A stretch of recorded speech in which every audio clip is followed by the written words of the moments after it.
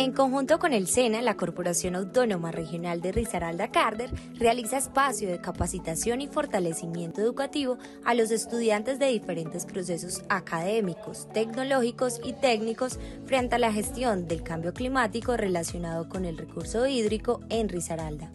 Queremos hacer un fortalecimiento de las capacidades eh, en transferencia de conocimiento, específicamente en este caso de cambio climático sobre la dimensión del recurso hídrico eh, para los estudiantes del sector agropecuario. Con Carter venimos eh, trabajando en el tema de gestión de riesgos agroclimáticos con instructores en el 2020, en transferencia de instructores de articulación con la media y en este año hemos venido ya trabajando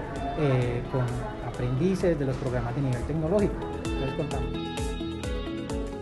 Para esta vigencia 2022 se han tratado durante las dos primeras sesiones de cuatro temas como instrumentos de ordenamiento del recurso hídrico, vulnerabilidad por desabastecimiento de agua y aguas subterráneas.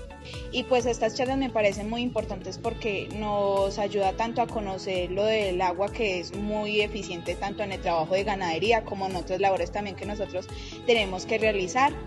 y además esto es muy importante para, a pesar de que nosotros seamos de ganadería y otros sean de agrícola, conocer todos estos temas que son importantes para el campo. Gracias a estos espacios de los estudiantes de los tecnólogos y técnicos de control de calidad de alimentos, gestión de empresas agropecuarias, gestión integral de calidad, manejo y producción ganadera y otras redes de conocimiento ambiental agrícola y pecuario, han logrado ampliar más sus conocimientos respecto al cómo, desde sus perfiles, pueden aportar a la conservación y cuidado del medio ambiente.